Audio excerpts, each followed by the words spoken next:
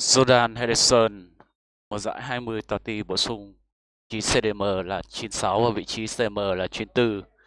Mức lương 19, chiều cao 1m82, cân nặng 80kg, thể trung bình cho thuận trái 3 và phải 5. 3 sao kỹ thuật, các sự số gốc bao gồm tạt bóng sớm, truyền dài, nỗ lực đến cùng. Ở vị trí CDM thì Henderson nổi bật ở những điểm như thể lực 104, sọc bóng 100 và khả năng quyết đoán cao. Ngoài ra các bị bộ chỉ số như sức mạnh, kỹ năng sọc bóng, kèm người, lấy bóng, truyền ngắn, truyền dài, cắt bóng, tầm nhìn và phản ứng tương đối tốt. Ở vị trí CM cũng như vậy. Khi mà anh có khả năng chọn vị trí có tầm nhìn, có kỹ năng chuyên ngắn, kỹ năng dứt điểm, kỹ năng ờ, lấy bóng và dê bóng. Cộng với đó là khả năng giữ bóng tốt.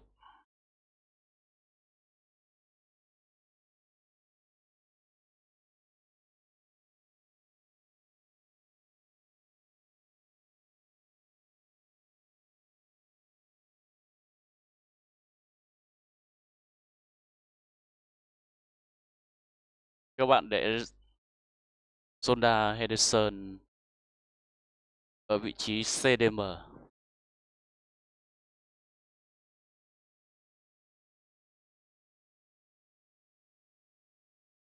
Chúng ta sẽ để chiến thuật đơn như sau.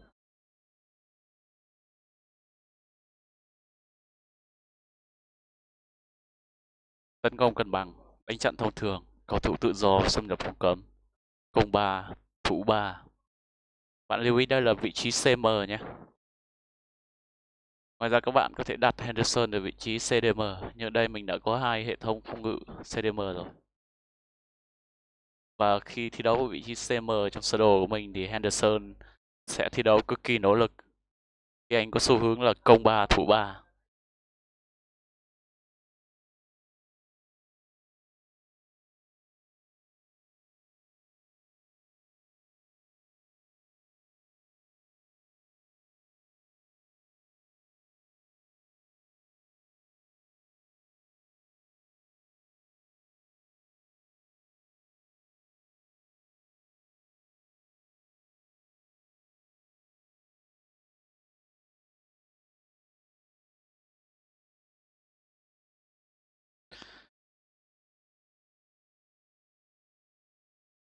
Henderson là cầu thủ trưởng thành từ câu lạc bộ Sunderland thuộc giải Ngoại hạng Anh. Hiện tại thì câu lạc bộ này đã xuống hạng. Vào ờ, năm 2011 thì anh chuyển sang câu lạc bộ vô cảng Merseyside, Liverpool và cùng với Liverpool đã giành chức vô địch Champions League 2019 và siêu cúp châu Âu 2019 được xem là một trong những tiền vệ trung tâm kế thừa huyền thoại Steven Gerrard ở cả Liverpool lẫn đội tuyển quốc gia Anh. Henderson đã không phụ kỳ vọng của người hâm mộ, cũng như những bậc đàn anh của mình ở đội tuyển Anh để trở thành thủ lĩnh đội trưởng của Liverpool, cũng như là một thành phần quan trọng trong thành phần của đội tuyển quốc gia Anh. Henderson là một mẫu tiền vệ, trung tâm, đa năng. Tuy nhiên, dưới thời Jurgen Klopp thì Henderson chủ yếu được lựa chọn thi đấu ở vị trí tiền vệ phòng ngự CDM. Lối chơi của Henderson rất năng động và thường mang tới năng lượng dồi dào cho đội hình của câu lạc bộ Liverpool. Henderson mang trong mình tố trách một thủ lĩnh, dẫn dắt hàng tiền vệ, cũng như là thủ ứng tinh thần của cả đội bóng.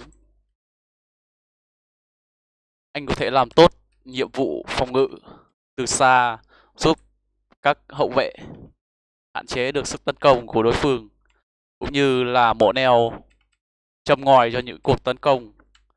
Những tình huống chớp nhoáng có thể ghi bàn từ khu trung tuyến Liverpool và những uh, Mario Sane hay Mohamed Salah cũng như Roberto Firmino sẽ phải rất cảm ơn Henderson bởi có anh trên sân thì tâm lý và cách chơi bóng của những cầu thủ này sẽ tự tin hơn rất nhiều. Ngoài ra anh cũng là một cặp bài trùng với Virgil van Dijk trong khâu phòng ngự. Henderson là thuộc mẫu cầu thủ chăm chỉ và bền bỉ.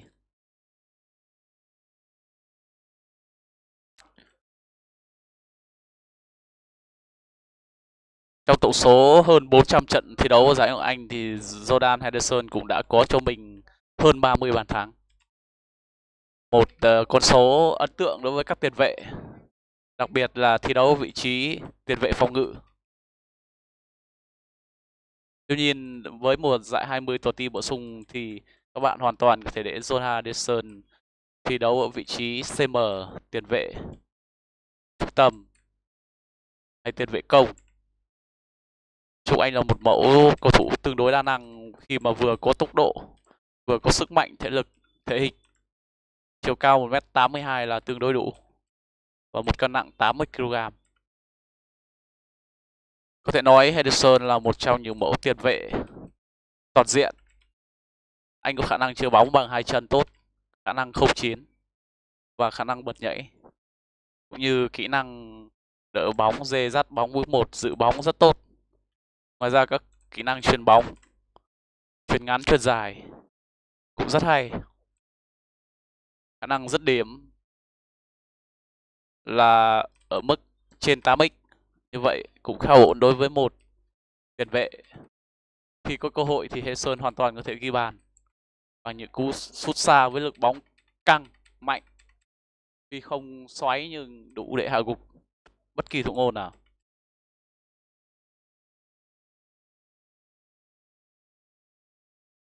sinh năm 1990 và năm nay đã bước sang độ tuổi 30. Henderson vẫn đang còn có thể gắn bó với bóng đá đỉnh cao thêm nhiều năm nữa.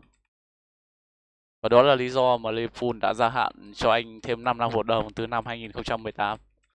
Và chính bản hợp đồng tương xứng đó đã giúp Liverpool giành cú đúp Champions League và siêu cúp châu Âu 2019.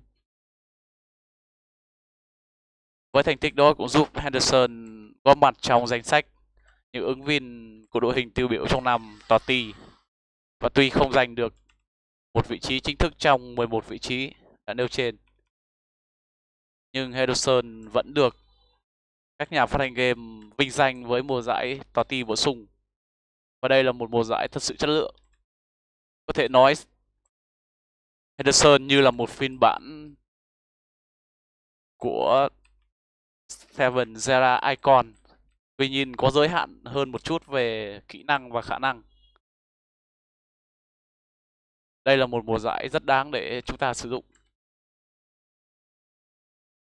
Cộng với mức lương ờ, phù hợp và một chỉ số không quá cao, Đủ để các bạn có thể ép lên những mức thẻ cộng 3 hoặc cộng 5 Để có thể lấy Cam Color.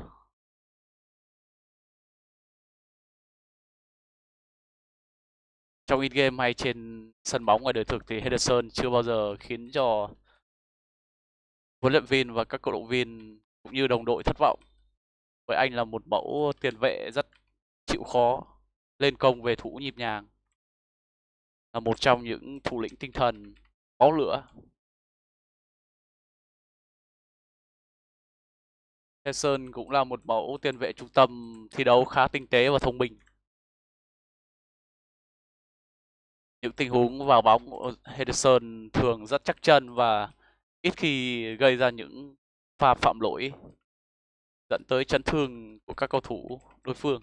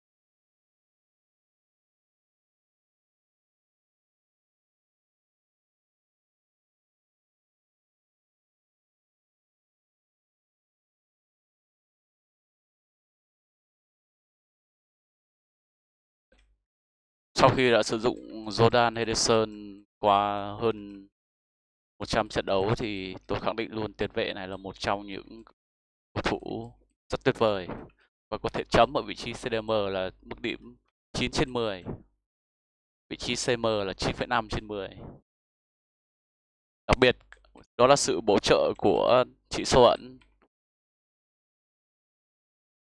Có hình hai lá phổi nỗ lực đến cùng càng về cuối trận thì Henderson thi đấu càng máu lửa. Và tất nhiên là khi anh ở phong độ tốt, chúng ta có thể thấy là chúng ta đang sử dụng anh ở một cái mức phong độ tương đối thấp.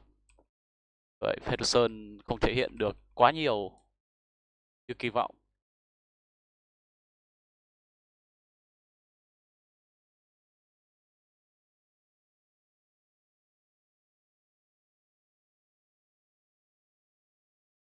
Ngoài những kỹ năng cắt bóng, sọc bóng, phòng ngự tốt, khả năng 09 Henderson còn có những đường truyền ngắn, truyền dài, phát động tấn công cực kỳ chính xác.